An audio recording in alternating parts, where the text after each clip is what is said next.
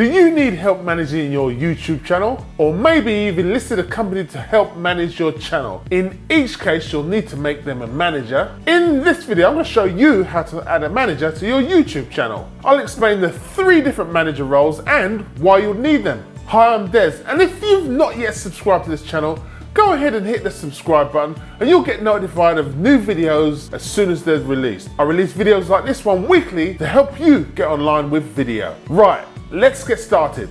I'm just gonna get on the computer and show you the steps. You'll need to be signed into your YouTube Google account. From the YouTube homepage, on the top, click on the gear icon. Under Manager, click Add or Remove Managers. Under Users, click the blue Manage Permissions button. To invite a new user to manage your account, click on the icon on the top right. As you hover over it, it will display Invite New Users. Add names or email addresses of those you want to invite to manage your channel. Note, they must have a Gmail account. As you start typing the names, some existing contacts may appear. Once you select the person you'd like to manage your account, click on the arrow under the name next to choose a role. There are three roles, owner, manager, and communications manager. Owner can take the most actions and they control who manages your account. An account must have a primary owner. Managers can use Google services that support brand accounts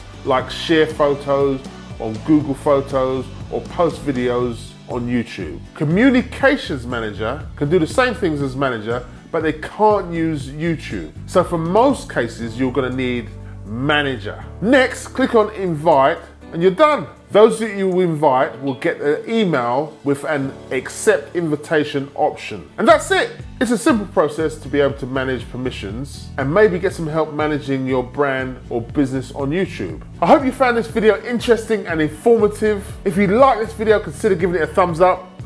Please subscribe so I can deliver more videos just like this one to help and inspire businesses and individuals just like yourself to get online with video. Thanks for watching.